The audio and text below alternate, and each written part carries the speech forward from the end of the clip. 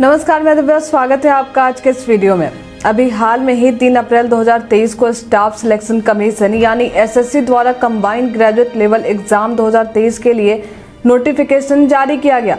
जो भी युवा इस परीक्षा की तैयारी कर रहे हैं, उनमें एक अलग ही खुशी का माहौल देखने को मिल रहा। भला हो भी क्यों ना, आखिर इतने समय से वे परीक्षा की तैयारी भी तो कर रहे हैं। परीक्षा चाहे जो भी हो सारे कैंडिडेट्स जो उस परीक्षा की तैयारी कर रहे हैं, वो परीक्षा से संबंधित किसी भी प्रकार की जानकारी लेने के लिए उस विभाग या आयोग या फिर उस परीक्षा से संबंधित किसी आधिकारिक वेबसाइट पर ही जाकर परीक्षा से जुड़ी जानकारी लेते हैं। आमतौर पर हर कोई तो यही करता है। जिस भी विभाग में भर्ती आई है या उस विभाग से संबंधित कोई भी जानकारी आयोग या विभाग को देना होता है तो वो भी अपने आधिकारिक वेबसाइट या फिर किसी आधिकारिक अकाउंट का ही सहारा लेते हैं। ताकि लोगों को उस संबंध में हर तरह की जानकारी मिल सके। लेकिन आज के इस डिजिटल युग में ऐसे ही कई विभाग या आयोग के नाम पर साइट या फिर आधिकारिक अकाउंट बनाकर लोगों को ठगी का शिकार बनाया जा रहा है।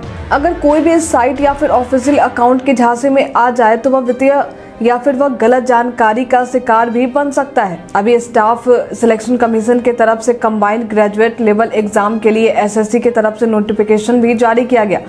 जो बच्चे इस परीक्षा की तैयारी कर रहे हैं, उन बच्चों को भी जैसे ही इस नोटिफिकेशन की जानकारी मिली तो उन्होंने भी इस परीक्षा के संबंध में अधिक जानकारी लेने के लिए इसके ऑफिशियल वेबसाइट और अकाउंट पर गए।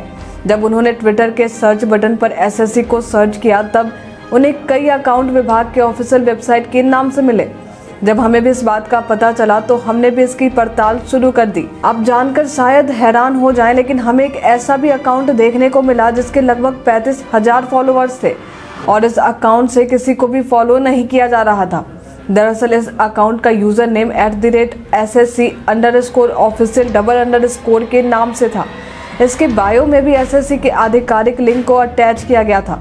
साथ ही साथ एस एस सी से संबंधित हर एक सूचनाओं और उससे संबंधित हर तरह की जानकारी हमें अपडेट यहाँ देखने को मिली।